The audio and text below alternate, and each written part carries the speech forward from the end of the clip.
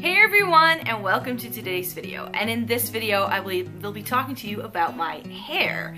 I'm gonna take you through the different products that I use in my hair care routine and I will also be telling you something about my hair so that you know what it is that I have to work with. Um, it's going to be a short chatty video so um, yeah let's just uh, get to the, my hair care routine. So before I start telling you about all of the different products that I use on my hair, I should address the situation that we're working with. Um, I wash my hair probably two to three times a week, not too often, because my hair is pretty dry. And if I wash it too often, it just becomes one big frizzy mess. Um, so the hair that you see is all my own. I don't use any curling wands, I don't use straighteners, I don't even blow dry it. This is all mine. There's a lot of it, it is thick, and all of the waves and potentially curls, uh, because right here in the back, it is actually quite curly. Uh, it really depends on how my hair dries up, whether you see it or not.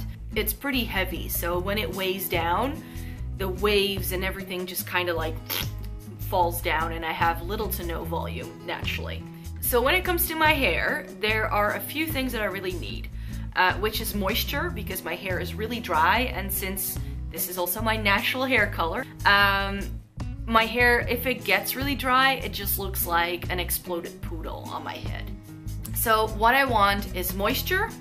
I want my blonde hair to be as nicely blonde as it could possibly uh, as it could possibly be and I want my waves to stay intact as much as possible without weighing it down too much.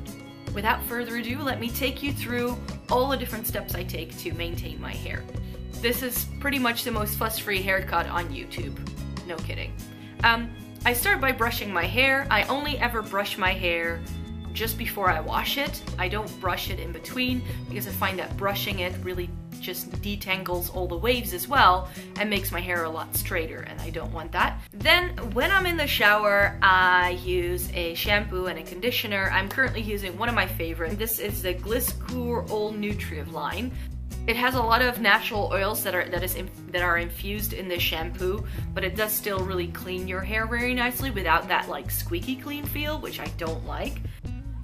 Once I step out of the shower, all I do is just towel dry my hair really quickly. I just like wrap it into a towel and let it dry. Um, but what I do do is uh, use some leave-in conditioner because if I don't do that, my hair gets really frizzy and dry again.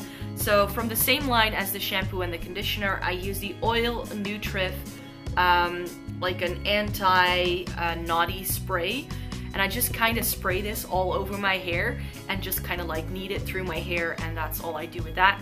And then just for the ends, because those get really dry and um, just fluffy looking after a bit, I use the Dream Hair Light Oil. Again, it looks similar to the rest of the line that I just showed you and uh, this is really nourishing for just the ends. So after I put in my leave-in conditioner, it's time to style my hair, and I use two products for that. The first one is the Bumble and Bumble don't blow it air styler for great hair days without the heat or the hassle. I do find you only need a very small amount of this, like a pea side amount, maybe like a, just like a small coin size. That's all I use and I just put it all over my hair and I find that when I put this in, my waves are locked in a lot better and it stays wavy a lot nicer. In order to get a little bit of volume and lift started, because my hair is naturally very limp, um, I actually put in a sea salt spray, and this is the one by Toni & Guy. I use this quite liberally. I just spray it all over my hair. I just lift up all those layers and spray it wherever I can.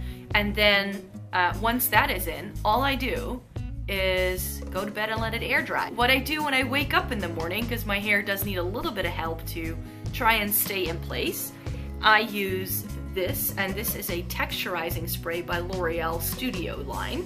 And this is the Volum' Max Volume Spray. And it's just a spray, I just shake it up and then I just spray it. I can show you this actually because my hair can use a little bit more. I just spray it in and spray it all around and it's like pliable as well and it just adds texture and hold all at the same time without that like very sticky hairspray feel. There are three products that I only use occasionally that I do want to show you because it is how I maintain my hair. Um, I don't use dry shampoo to create the texture in my hair because I find that dry shampoo is too drying for my hair. If I use this every single day, my hair becomes a frizzy mess again. So I like the other spray better because it's more of like a, it's like a, almost a hybrid between a dry shampoo and a regular hairspray, I find. Um, so I only use this in emergency cases when my roots need a little bit more help, when um, my hair gets a little bit greasy, and when I want to stretch the moment that I wash my hair for like another day. And then the other two occasional hair products that I use are the two products that I use to maintain my hair color. So I get roots from my own hair color. Um, and in order to maintain the roots and to make sure that it stays blonde a bit more evenly, I use the John Frieda Go Blonder Hair uh, Controlled Lightening Spray.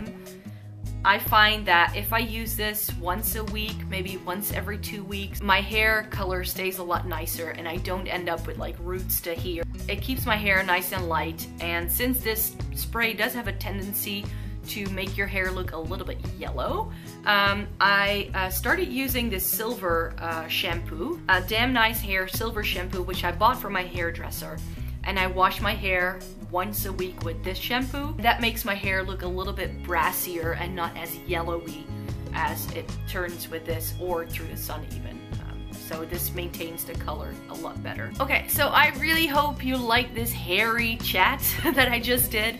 And um, I like my hair, and that's why I thought I would tell you about what I do to uh, maintain my hair and how to take care of it. And I really hope I gave you some useful tips, who knows.